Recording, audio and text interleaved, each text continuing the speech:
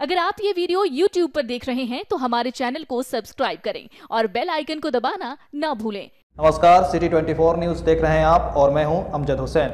आइए बढ़ते हैं आज की खबरों की ओर। भागलपुर जिला के कहलगांव प्रखंड के धनौरा पंचायत में महाशिवरात्रि पर्व के मौके पर मेले में उमड़ी श्रद्धालुओं की भीड़। भागलपुर जिला के कहलगांव प्रखंड के धनौरा पंचायत में महाशिवरात्रि का मेला करीबन 60 साल से लगता आ रहा है, जो पिछले साल की भांति इस साल मेला में बहुत ज़्यादा भीड़ उमड़ी है। मेला के कार्यकर्ता डोमी चौधरी, राकेश चौधरी, विजय झा, बॉस्की झा, जय हिंद झा, संजय चौधरी समस्त ग्रामीण लोग के सहयोग से मेला लगता आ रहा है।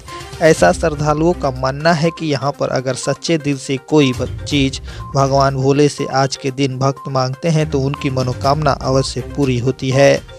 भागलपुर से निबराज आलम की रिपोर्ट।